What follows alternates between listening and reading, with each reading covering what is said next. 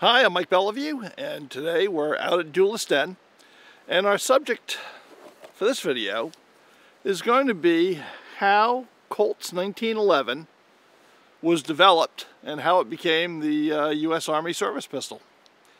So, let's take a look at how it performs first. Well, Pancho Villa was feeling the heat from Blackjack Pershing chasing his tail.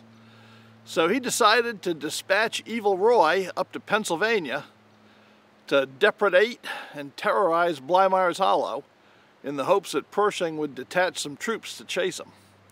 But Blackjack knows that Evil Roy is my business. So he sent me a wire, said fire up your Tin Lizzie, get out there and go to work. So I've got my trusty 1911 and we're going to see if we can uh, end Evil Roy's depredations.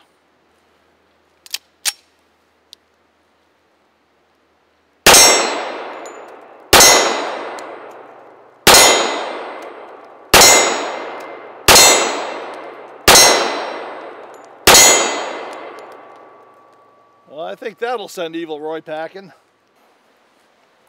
So as you might imagine, nobody woke up on January 1st, 1911 and said, I think I'm going to invent the next service pistol for the United States Army. No.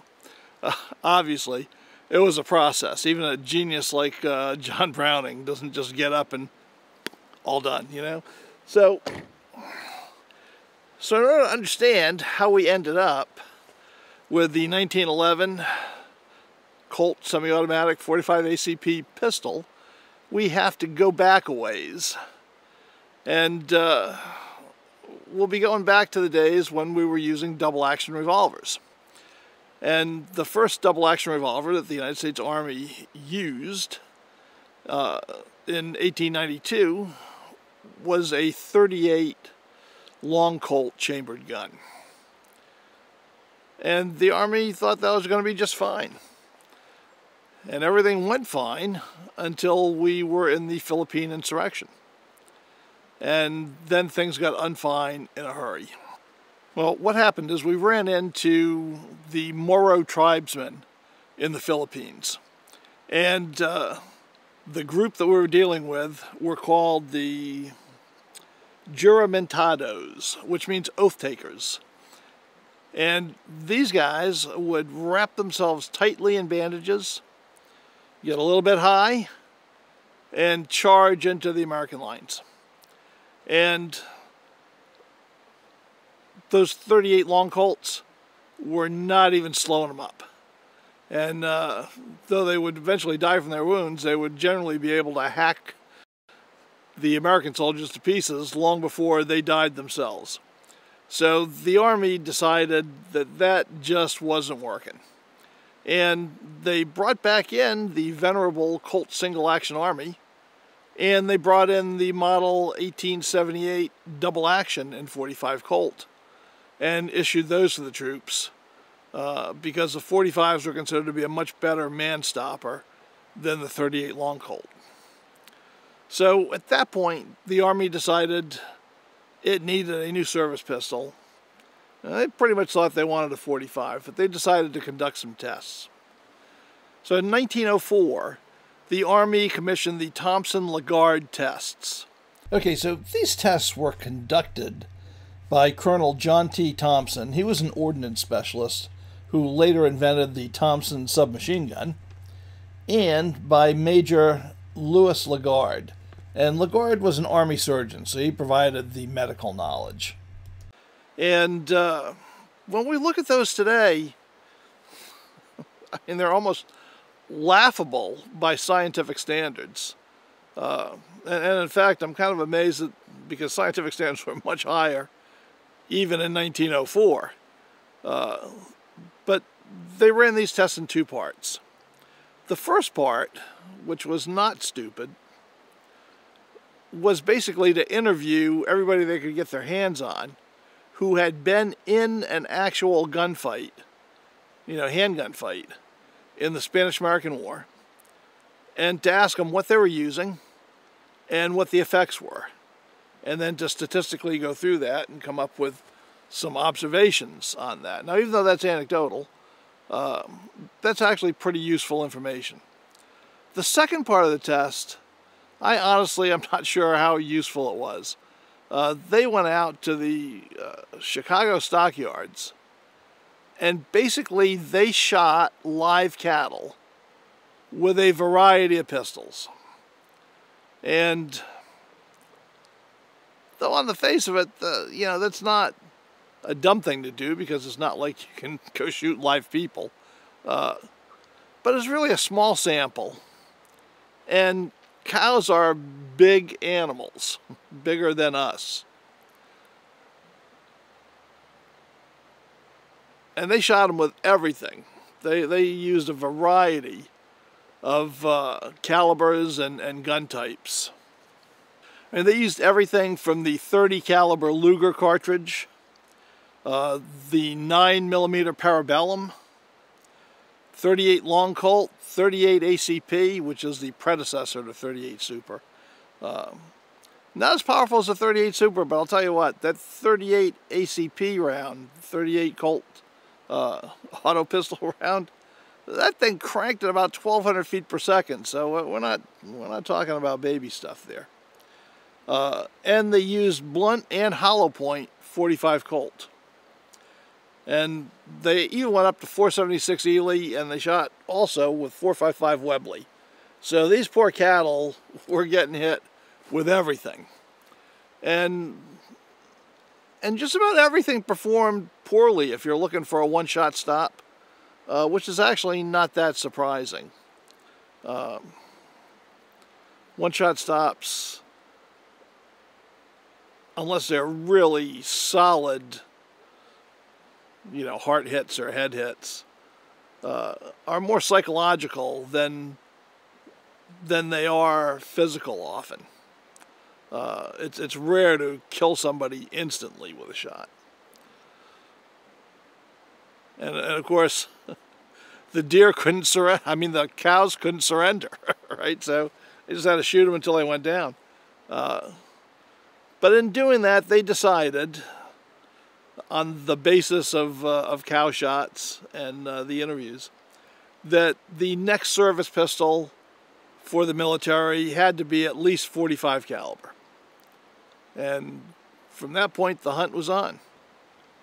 Now, the first official Army sidearm that was selected after the Thompson-LaGarde tests was not a semi-auto pistol. Uh, because at the time there was not a single semi-auto pistol that would have met the specifications that the Army was looking for.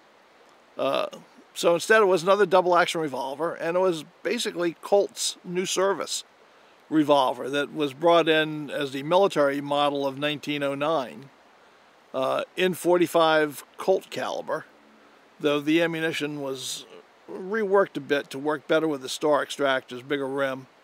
Uh, but for all intents and purposes, a 45 Colt.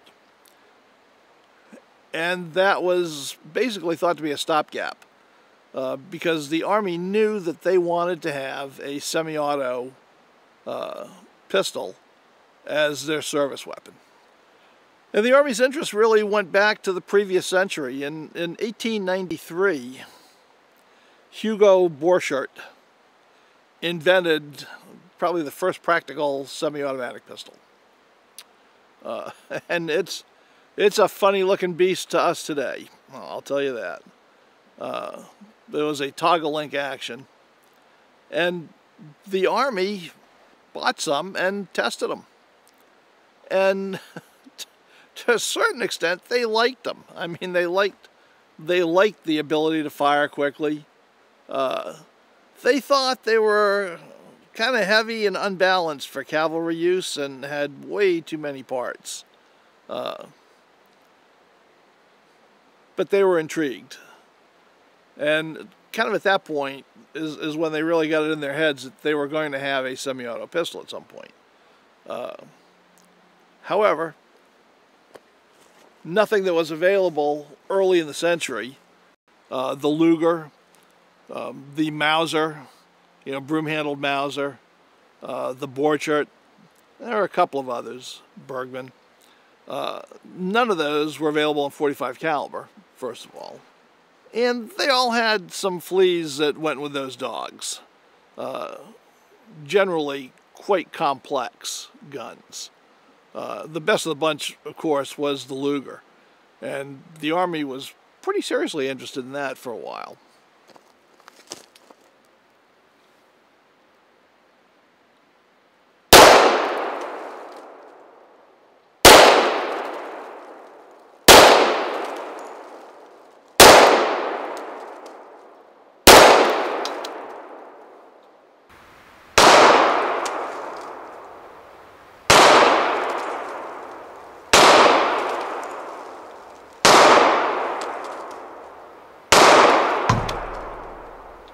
Not gonna lie, that was fun. but it seemed like the Europeans had the field to themselves in, in terms of uh, semi-auto pistol development. But probably America's greatest firearms inventor, uh, John M. Browning, also had semi-auto pistols pretty firmly in his mind. And he was actively working on them. Uh, of course, he developed uh, a machine gun known as the potato digger, and he actually made his first semi-auto pistol based on that potato digger action, uh, which basically had a flapping piece that went up and down, you know, kicking, kicking empties out and, uh, and slamming, slamming fresh ones in on a pistol. Uh, obviously, that thing never went into production because I think it would have been quite upsetting to shoot. but Browning didn't give up. And he put together a number of, of different action types. Uh, some recoil operated, um, some with like the like the Mauser, you know, a bolt operated, one with a, uh, a fixed magazine, though though his pro Browning's prototype had the magazine in the grip as we would have now, uh, but it kind of snaked down into the grip, loaded from the top. Um, that one also never saw production. But the model 1900 Colt pistol was the first really practical high-powered, shall we say. Was chambered for the uh, 38 automatic Colt pistol cartridge, right? Which is, as I said, now this 38 Super. Exactly the same dimensionally. The difference is the 38 Super is loaded to much higher pressures, so they're not interchangeable. If you put uh, today's 38 Super into a model uh, 1900, you're probably going to damage that gun. Same cartridge, and as I said before, not too shabby. I mean, 1,200 feet per second, you know, the 125 grain bullet, that's, you really can't complain uh, about that. I mean, it's really in the 9 millimeter Luger uh, power factor. And it was an interesting gun because it was the first short recoil operated locked breech semi-automatic pistol. And when we look at it today, we can definitely see the uh, antecedents of the 1911 Colt. Now, unlike the Borchardt or the, uh, the Luger, the Colt had a full-length slide uh, running along the frame. Uh, other guns up to that point had exposed barrels and had their action parts kind of behind the breech. Uh, but in this case, the slide held the bolt. It was the bolt. Uh, and that was innovative, as, as was the, uh, the locking lug design of the barrels. Well, even though it looks rather similar to a, uh, a Model 1911, the differences between a 1911 and the Model 1900 uh, are really immense. Uh, for one thing, the frame ran the full length of the slide, uh, which obviously does not do that on, on the 1911. the gun had two locking lugs uh, machined in the barrel and, and matching lugs in the slide. And it had two pivot links. Uh, one was at the muzzle and then one was back by the chamber, kind of where we're used to having it. So the barrel always stayed parallel. It didn't tilt the way a 1911 barrel tilts to unlock. And the 1911 barrel is retained to the slide with this pin that we're used to. Right? That pin right on the side. And of course, that is the pin that uh, goes through the pivot, right? In today's gun, it's, it's quite robust and it holds everything together. Well, in the 1900, model 1900, the links, the pivoting links, were separately pinned. And the gun was held together in firing by a wedge. And that wedge ran in a machined slot in the slide. And then it had a matching slot, uh, I'm sorry, machine slot in the frame. And that wedge guided the slide, and it had rails just like we have now on, on, on 1911. But that wedge traveled in that slot back and forth. And the only thing that kept that slide on the gun was that wedge. It would hit the forward stop, you know, when the slide was back out to the end of the barrel.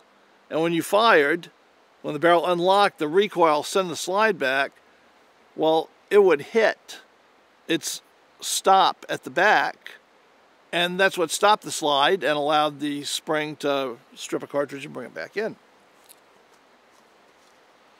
That worked pretty well, except when it didn't, because it would occasionally fail.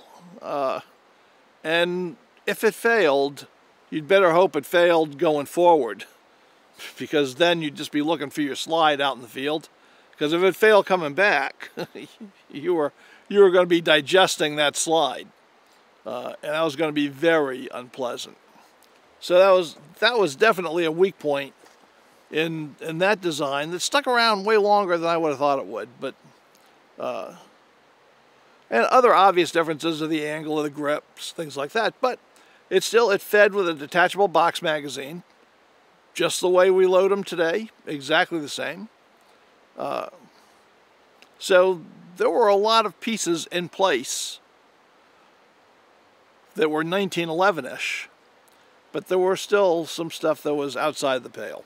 Now, another really unusual feature of the early model 1900s was the safety, because the safety was the rear sight, which pivoted up and down to block the hammer uh, and make the gun safe. That was very innovative, uh, but probably not very practical.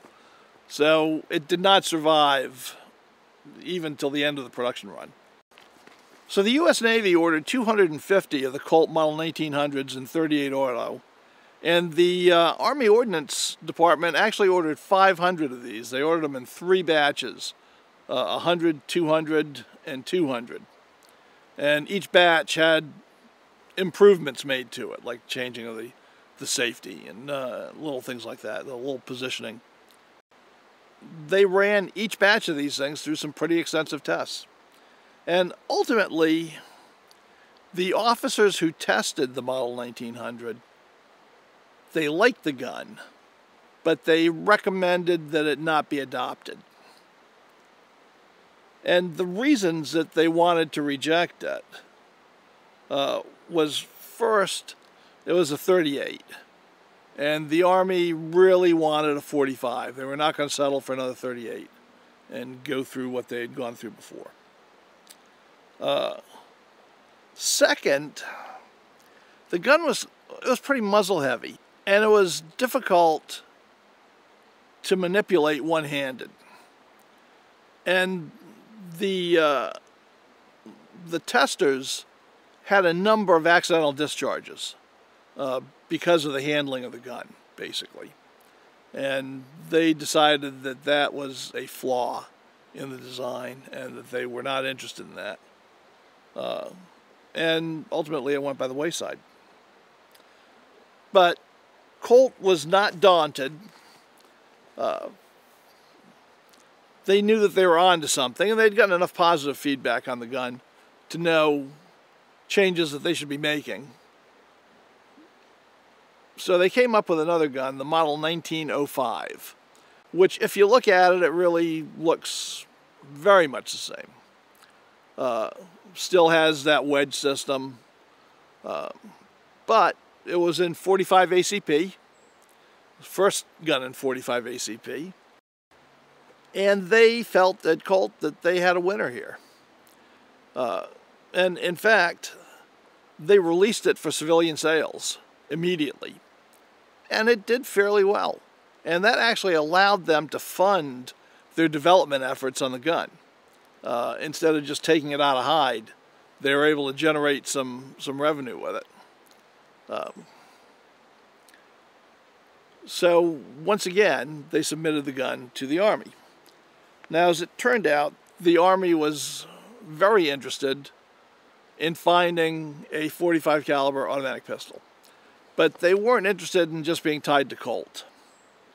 Well, Evil Roy's partner in crime, Swingin' Sam, has showed up with his circle gang to take up where Evil Roy left off. So, just going to have to take the old 1911, see if we can clean house.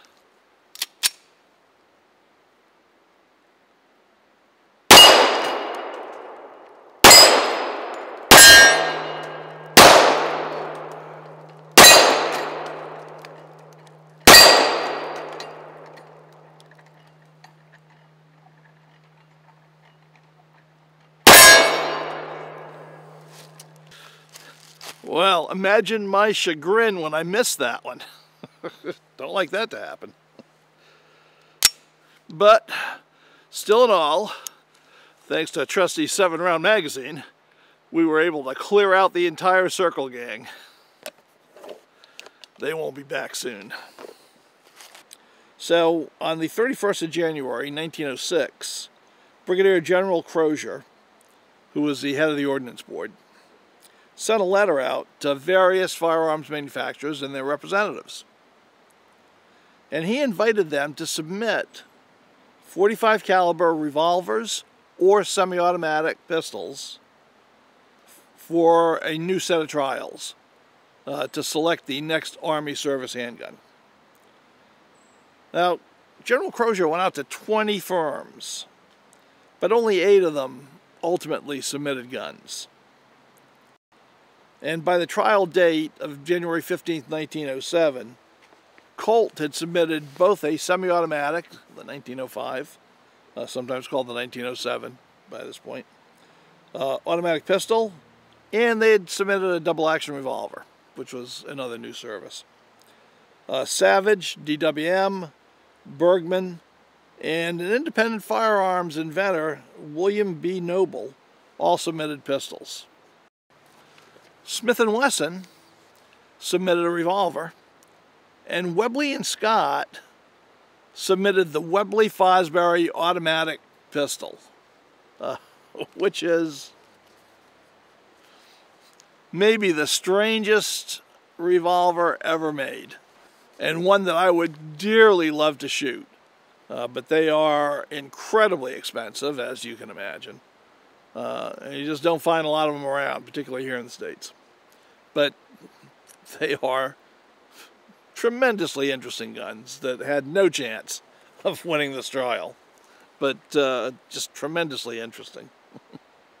the Ordnance Board decided that only the guns made by Colt, Savage, and DWM, uh, which was the Luger, were worthy of additional testing.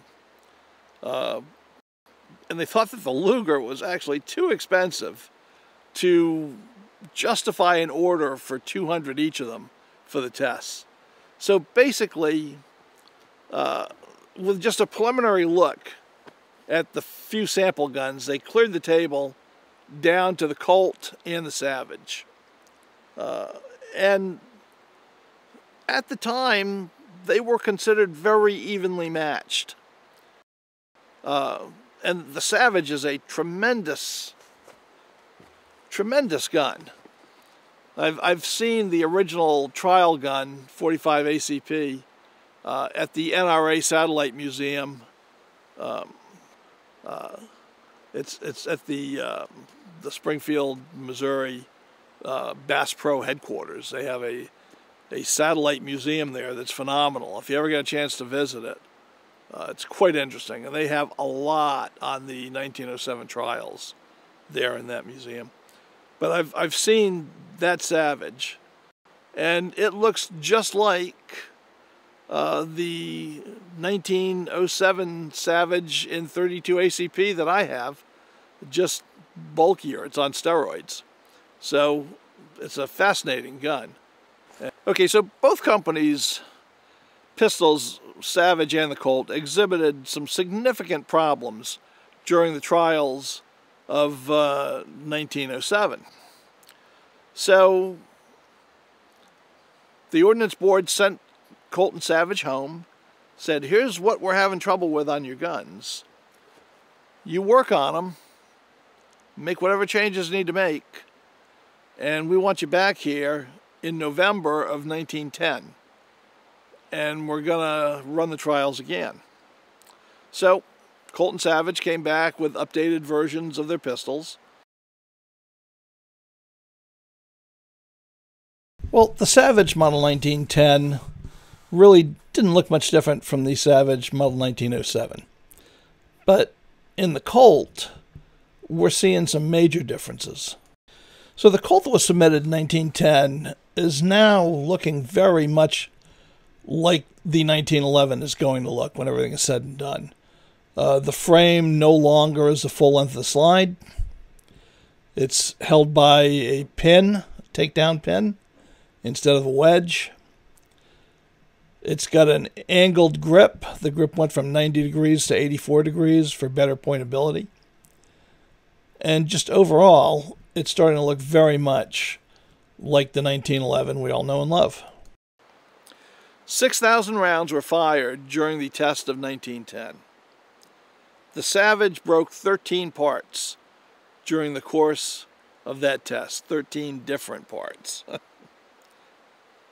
and it had a lot of recoil. Uh, and part of that is because of the straight grip. You get more felt recoil out of that uh, because Savage had retained their straight grip. The Colt only broke four parts during the test, but these breakages included two split barrels, that's not good, and two cracked frames, not good at all. Uh, so neither pistol was deemed suitable for adoption. So they said once again, go home make these better, come back in 1911. So the companies went home, worked on the guns a bit, came back the next year. New trials, another 6,000 rounds were fired. Uh, the Savage, unfortunately, went from 13 breakdowns to 37 breakdowns during the 1911 tests. Uh, did not perform well at all. The Colt, on the other hand, went through the entire 6,000 rounds without a single failure. And the Army knew they had a winner.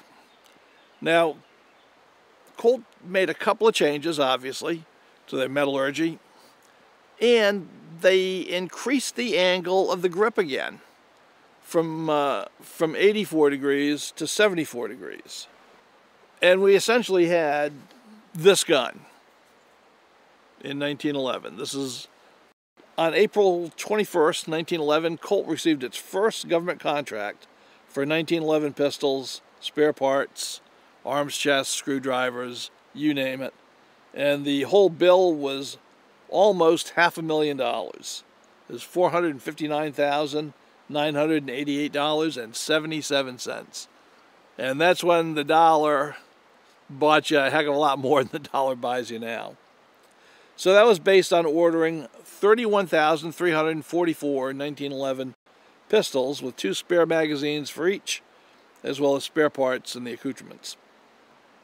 So Colt's price for the U.S. government was $14.25 for each pistol, uh, with one magazine.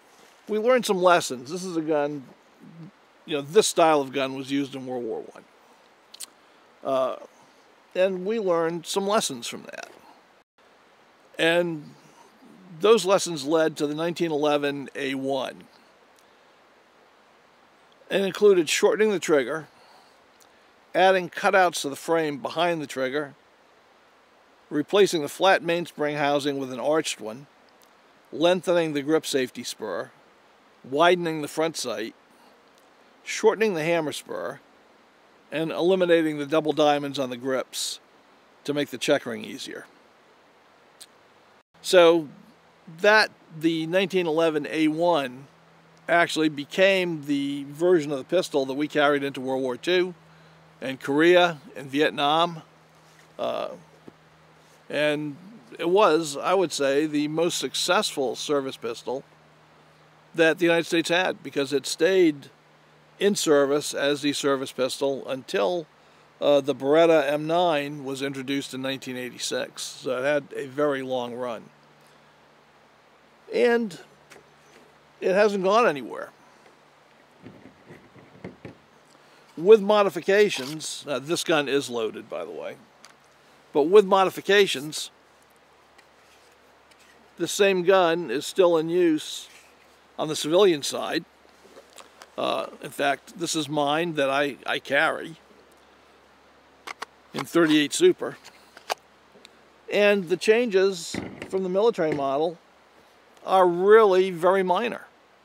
Uh, a few reliability things like a deeper ejection port, better sights, things like that. But basically, the same 1911 for all intents and purposes that we had in 1911 is still out there in the marketplace being very successful today. So, John M. Browning, you've done a good job, but it was really the iterative testing through all the trials and taking the lessons learned and developing changes based on them. Uh, that is what really made the difference and turned the Model 1900 uh, into the Model 1911, uh, which is quite a change. I mean, we're going from Caterpillar to Butterfly on that. And it's well into its second century of use on the civilian side and shows no signs of letting up. So uh, a tremendously successful piece of firearms history there.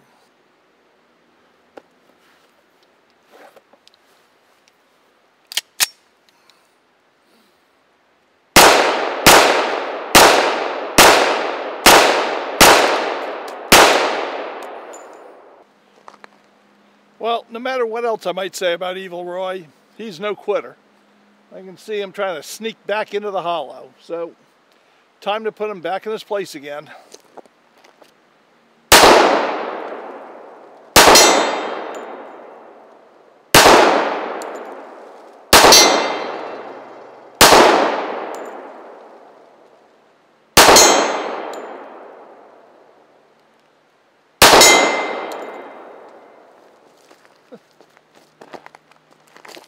Well, at least I hit them more than I missed them. well, I wish I could give you my impressions of how uh, a World War I era 1911 shoots and feels, but I can't. I actually tried to source a World War I vintage 1911 for this video, uh, but I couldn't make it happen in time and I was running out of time. Like I say, this is the last week in December, and I'm only in here by the grace of God because as most of the country got smacked with a tremendous snowstorm uh, exactly one week ago that still has the country buried, we got missed. And instead, we had an ice storm, which was unpleasant while it was going on. But of course, when the sun comes out, the ice is gone, and I can still get in Duelist End. If we'd had a snowstorm, I'd not be able to get in here. And pretty soon I probably won't be able to get in here because even this morning, I couldn't get the lock on, on my gate out on the road open uh, until I took a bottle of uh, bottle of my drinking water out of the truck and poured it over the lock to thaw it out because the lock was frozen solid. Could not get it to budge. Uh, and pretty soon we'll be under the snow and we won't be able to be here. So I had to get this done today. I couldn't wait for that 1911. So what I what I used was this gun, which is Taylor's uh, 1911, which they basically market, you know, for wild bunch shooting uh, and cowboy action shootings. Wild Bunch, which uses 1911s, um, and it's part of their Taylor's tactical line. I've had this for quite a few years actually and it's a fine copy of uh, the actual gun from World War One. I. I mean, the only real noticeable difference is it has a, uh, a lowered ejection port for reliability, but it has a longer trigger. It has no no cutouts on the side. It's, it's very much like the original 1911. so, my impressions of the 1911 is it is the bee's knees. I mean, when it comes to semi-auto pistols, and I know people often rag on me that, oh, you know, they've come a long way since 1911. No, they haven't. Uh, uh, in fact, most of the pistols out there are based to some extent on design features of the 1911. But the gun just shoots, right? It, I mean, it hits everything you point it at. If you do your part, it's going to do its part, and it hits like Thor's hammer with those big 230 grain slugs. So, you know, my impression on it is that the Army Ordnance Board done good when they picked the 1911. And there, there you have it. So I hope you enjoyed this. I know a lot of you don't like to see me do modern stuff, uh, but this isn't that modern, right over 100 years old. Um, so if you liked it, hit the like button, right? Give it, give it a thumbs up, and then we can goose around the algorithm. And if you're not a subscriber, please subscribe. We got a lot of good stuff coming up. Uh, and even during the winter, we'll come up with some interesting things for you. So, until next week, bye.